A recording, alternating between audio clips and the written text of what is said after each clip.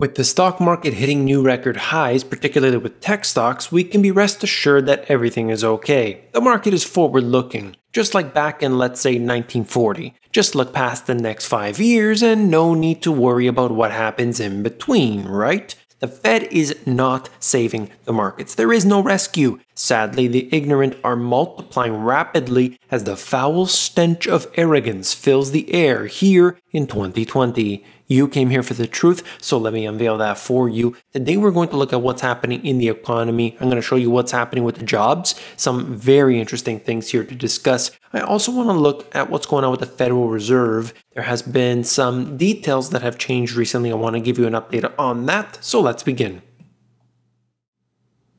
In 2020, we have seen a swift and massive shock that has caused the broadest collapse of the global economy since 1870, despite the unprecedented government support. That's according to the World Bank. We have seen statistic after statistic that has simply fallen off a cliff. In some of the stats, we have actually seen it climbing upward. We'll see where that goes. Of course, it's just a little bounce at this point. If that trend continues on, then we know that we have hit the bottom and we're on the way back up. One month's data is certainly not enough. But as the economy reopens, it's the speed of the reopening, and of course, with 70% of the economy in the US being based around the consumer, it depends on them. The world economy is expected to contract by 5.2% this year. That's the worst recession in 80 years. But the sheer number of countries suffering economic losses means the scale of the downturn is worse than any recession in 150 years. So understand what we're seeing here.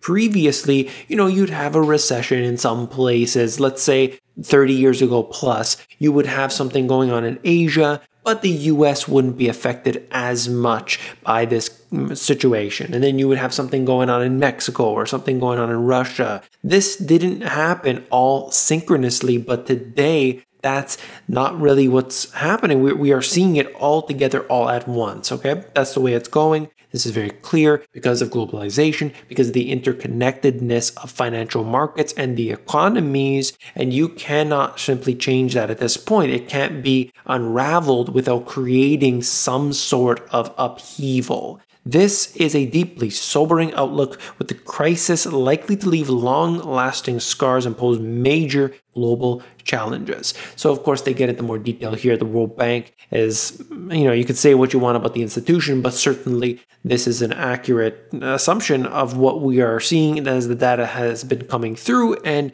where it will end up.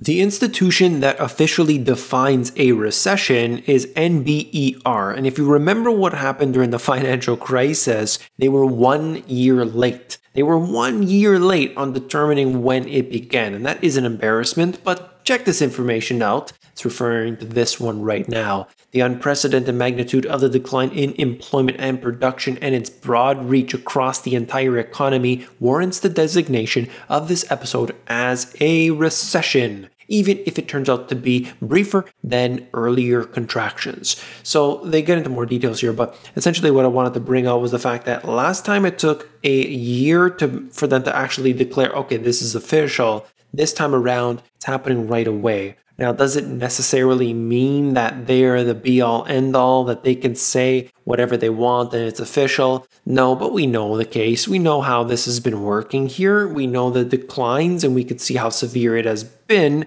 We are, of course, waiting for this V shaped recovery that has happened with stocks, but of course looks rather unlikely for the economy. What we've been seeing, of course, with the defaults has only just begun. This article gets into some of that. Retail landlords are sending out thousands of default notices to tenants, a situation that could tip already ailing retailers into bankruptcy or total collapse. There have been many examples of this. We've been seeing this time and time again. Of course, even the Gap company has not been paying their rent. You could suggest they will and that, you know, they're going to court for all of this and it's all going to be thrown out and who knows what's going to happen. But we know that the amount of bankruptcies, the amount of defaults, the amount of companies that are going under right now is escalating. Department stores, restaurants, apparel merchants, and specialty chains have been getting the notices as property owners who've gone unpaid for as long as three months lose patience. The default letters from landlords are flying out the door. Of course, we know what's going on. The commercial real estate is getting pounded right now. And with the majority of these companies doing work from home scenarios, that doesn't look very good for what we're seeing with commercial property. Now, we actually have seen, if you look at the CMBS, commercial mortgage backed securities, there was the big short two that was placed here, expecting that these would become worthless as more and more people move out of the malls. And you have a big problem with that, of course, picking up with the online retailers and the fact that there's just too much retail in general that hasn't really worked out yet as a trade. But this right here could be the final nail in the coffin. We'll see. US sees most bankruptcy filings year to date since the financial crisis. The market doesn't care about this information, of course. All they're worried about is the liquidity provided from the Federal Reserve. But regardless, if you want to know it, here's the information. I got a couple more. Here we're looking at the bankruptcies in the US. You can see how they have been expanding. That shouldn't surprise anybody if you've been following this data. We know exactly what's going on, and this is affecting businesses. This is affecting individuals. We know that it is widespread, and you know very well that it isn't just the United States because this has been such a broad recession and collapse, if you look in some categories, this doesn't necessarily mean that we can focus on one area and resolve this very quickly. It has to come from a whole bunch of different sectors, and it is simply impossible to print a whole bunch of money and resolve it. Chapter 11 corporate bankruptcy filings recorded in May of a given year, and it looks like we have not seen this being higher, at least on this chart going back to 2011. That's not very good, of course, considering the fact that this has only just begun. This comes out of Bloomberg. You could see month of May sees the most large US bankruptcy filing since 2009. I know that what we're looking at here is simply going to be an issue as time goes on. As I said, not just for the US, but others as well. Nasdaq closes at an all-time high, Dow less than 7% off its records as Wall Street looks for the Fed to keep support intact. Of course this is what they want. Everything would be falling apart right now. It would be looking a lot like the economy and instead the stock market continues to go up all because of the Fed. Federal Reserve makes the sun come up in the morning. The Federal Reserve began QE4 unofficially back last year, September 17th. This all began. And of course, the market started to love it right away. Of course, any additional stimulus on any level is positive for the markets. They love it. Check this out. I was giving you daily updates on what was happening with the repo operations. In fact, I was doing it so often, I had multiple comments telling me to stop it. I know I lost a few subscribers because of it, but regardless, it was so integral to what we saw leading into 2020, so I knew it was important to cover. Look at this. I'm going to scroll through really quickly just to give you an update. This has actually increased. So we have seen a time in which the repos were not getting used as much. And that was actually a problem because they really wanted the liquidity to go in before they started doing uh, crazy QE5 as they've been doing right now. They wanted it, but they just didn't have the uptake. Now that's changing because it is increasing. Could that mean that there is more of a requirement for this liquidity despite everything that's been pumped in? Are they actually seeing the same problems that were occurring in September of 2019 right now? Well, I don't know what's going on internally in the system, but certainly we'll, we'll be tracking it here and I'm going to see if this trend continues.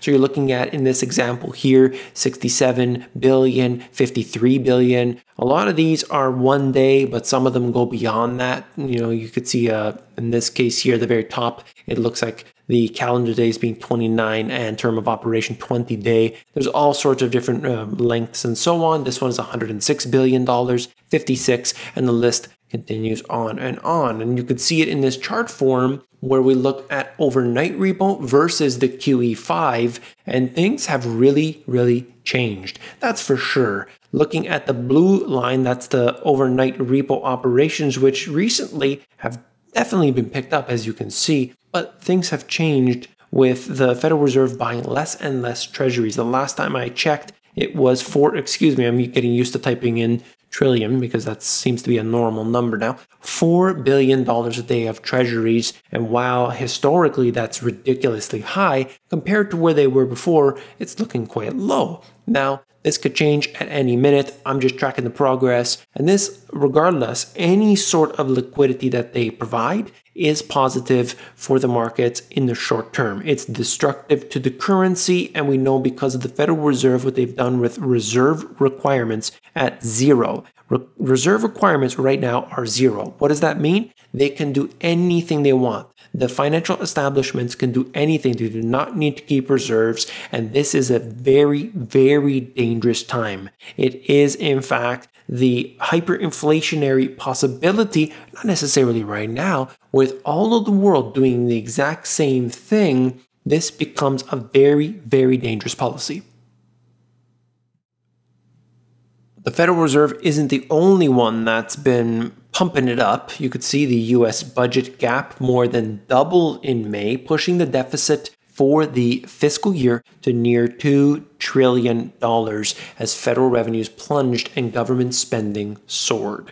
This will go on, it will continue, they will expand it as far as they want to. There is no limitation, but we will see taxation going up taxes will rise and they will not rise on just one group as they consistently tell everybody, oh, don't worry, the rich are going to pay for it. Everybody will pay. I thought this was interesting. Brooks Brothers seeks financing for potential bankruptcy as it continues sale process. With so many people working from home and with the trend going to be, at least for the foreseeable future, a lot of work from home, even for the people that do go into work a few days a week, perhaps. The need for people wearing these suits and these uh, nicer clothes potentially doesn't really look good for having so much retail. There's going to be a reduced need for this. And as a result, companies like this, not going to do so well. Men's Wearhouse owner wears, weighs bankruptcy filing, and this is yet another one. There are so many examples like this. Same situation, just wanted to show you it's not one particular company, but many in fact. Really quickly, to finish off the video, I try to bring you information from all over the world when I can get it. In this case here, German industrial production month over month plummeted minus 17.9. That just shows you what's been happening recently. They are telling us that things are going to get better. We'll see what happens. But on a historic level, globally, right now, the data has never looked worse. That's all for this video. If you found it informative, please hit that thumbs up button. When you do, you're supporting me. I want to thank you for that. If you want to check me out on Instagram and Twitter, you can do so at the Money GPS. If you want to learn how to sell online, you can do so for free, not a penny paid, at the AmazonGPS.com if you want to learn about the history, the information that is not available to you in the general mainstream. I wrote about it in these two books. You can get them at the link in the description. If you're interested in the audiobook instead, themoneygps.com. Okay, wait a second, hold on. Don't go anywhere. Have you seen this video? If you haven't, please click on it. I'll see you there.